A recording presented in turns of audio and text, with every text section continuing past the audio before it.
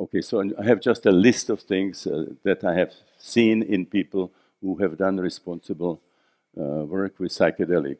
So the most uh, relevant thing for me, because I started as a clinical psychiatrist, is what you can do with psychedelics therapeutically.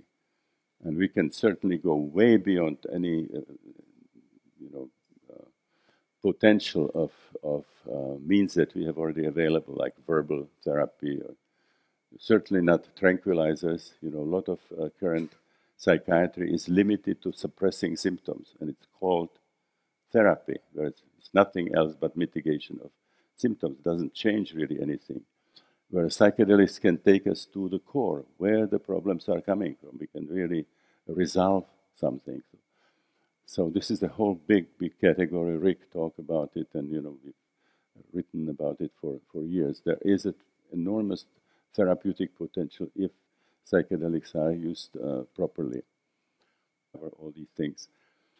But uh, just to sum it up in a few sentences, responsible use for psychedelics can really solve a lot of individual problems, can improve the quality of life in individuals.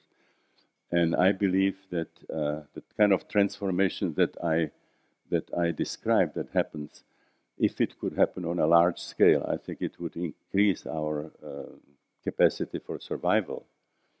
Uh, I have seen it in hundreds of people individually. Now, whether we can do it on a large enough scale and whether we have enough time to do it, you know, it's an open question.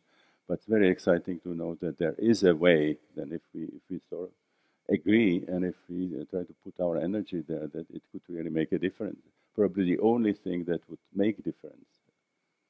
You know, because if we continue the, the uh, current uh, corrective measures, I think we just make things worse. So thank you very much for your for your attention.